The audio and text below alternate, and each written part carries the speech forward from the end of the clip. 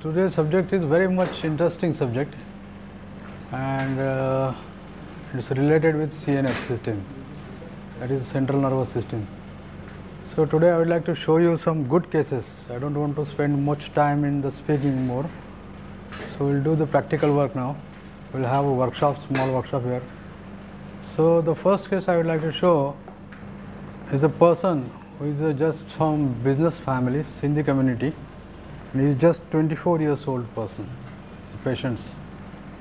This is an interesting case of a young man, age 24 years, who was diagnosed to have chondroid chondroma. Diagnosis in 2002. Chondroid chondroma is a sort of tumor, it's a brain tumor. Operated for the same, yet had recurrence of the symptoms and again advised for surgery.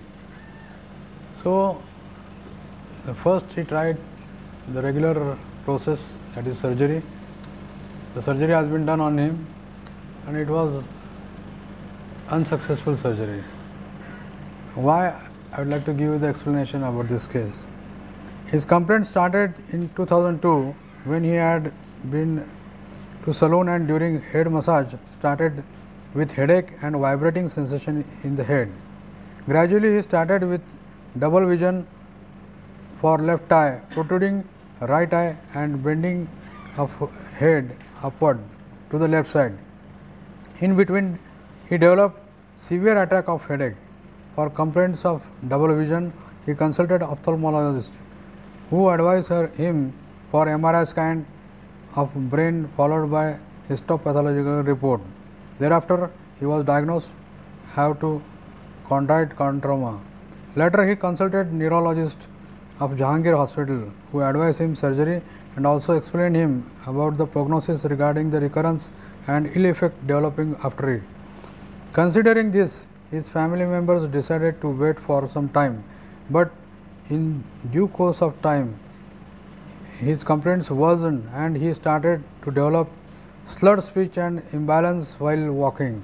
So, finally, in October 2003, after many experts' opinion, craniotomy was done with only superficial excision of tumor.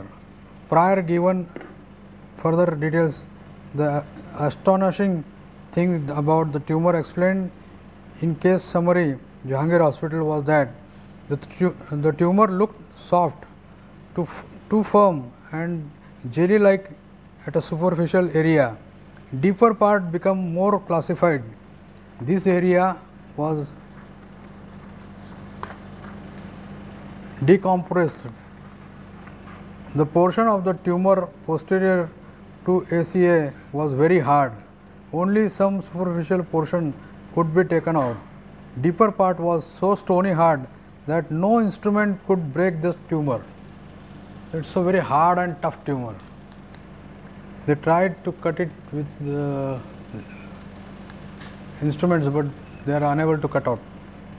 The procedure was abandoned at this stage. Surgery was no bone to him, but it rather worsened his complaints.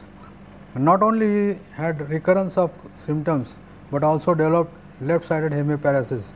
His condition was likely handicap for which he always required support of someone. For this, his consultant advised him surgery again. Now his relative were not not at all ready, so they came to me for consultation on 23rd March 2004. Now, I would like to explain about the chondroid chondroma. Just came. What is chondroid chondroma? Because the pathology is more important. Once you understand the pathology, you will get joy which case you are getting to be cured. So, it would be a bilateral joy if you could know the pathology very well. And this is irreversible disease. It cannot be cured by the radiation, by the surgery and by various allopathic methods. Just if you would like to make notes of this chondroma, just try to read. Chondroid chondroma.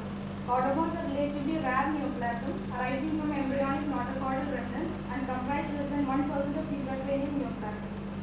They typically occur along the neuraxis, especially at the developmentally more active cranial and caudal limbs, notably in the spheno-occipital, sacrococcygeal, and vertebral locations.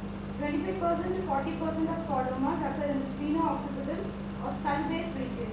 These tumors occur predominantly in the 30 to 50 year old age range and show a slight predominance in men. These tumors can occur extraaxially in unusual locations and are then termed primary.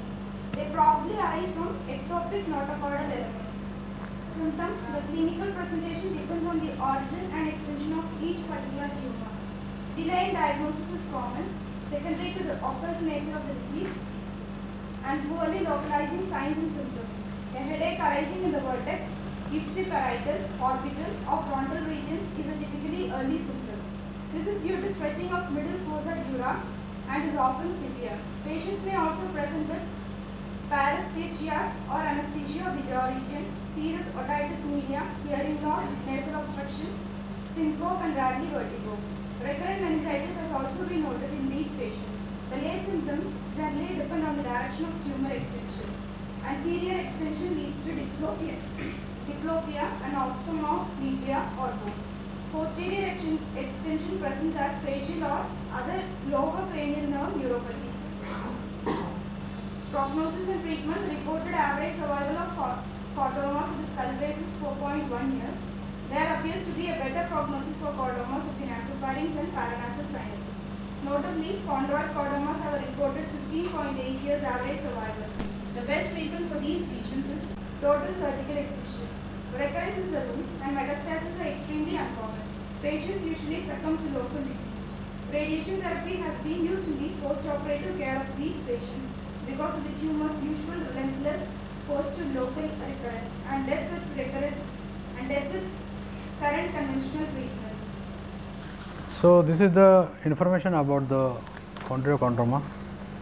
So it's very tough, hard, and very dangerous tumor. You can say it doesn't respond to any surgery, chemotherapy, or radiations, or any treatment.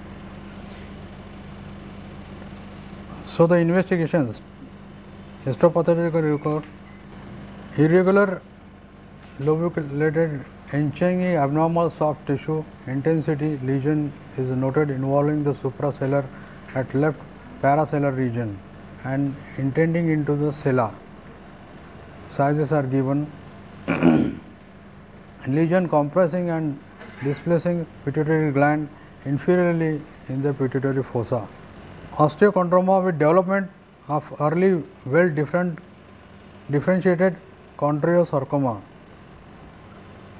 calcified tumor in the suprasellar, left parasellar and retrosellar region measuring 3.6 by 3.1 centimeter in the size. It is causing compression of the brainstem which apparently hypodensis.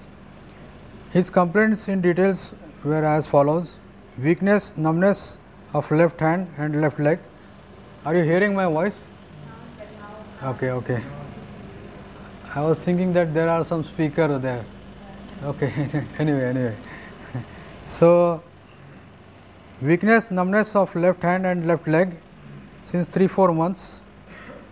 This, all these complaints are post surgical complaints because the patient came to me very late after surgery. Element form post operative complaints.